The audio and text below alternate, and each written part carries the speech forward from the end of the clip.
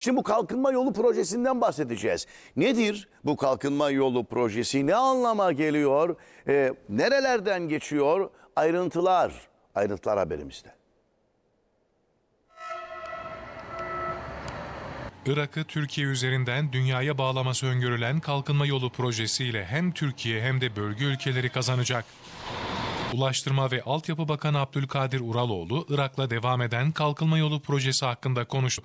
Projenin Türkiye ve bölge için önemli olduğunu belirten Uraloğlu, Başkan Recep Tayyip Erdoğan'ın Irak'a gerçekleştireceği ziyarette kalkınma yolu projesinin en önemli gündem maddelerinden biri olacağını söyledi.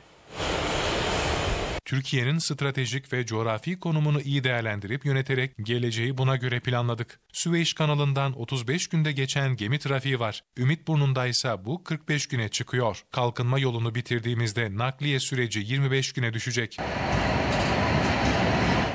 Kalkınma yolu projesi kapsamında 1200 kilometrelik demiryolu, otoyol, enerji nakil ve iletişim hattı planladıklarını belirten Ulaştırma Bakanı, 2025'te projenin ilk fazının devreye alınacağını söyledi. Ciddi mesafeler aldık. Her ay arkadaşlarımız Irak'a gidiyor. Yarın bazı anlaşmalar yapacağız. Proje neredeyse bitme durumundadır. Bunların hepsini resmileştirip daha hızlı ilerleyeceğiz. Kalkınma yolu projesinin inşa süresini 5 yıl içinde bitirebileceğimizi öngörüyoruz.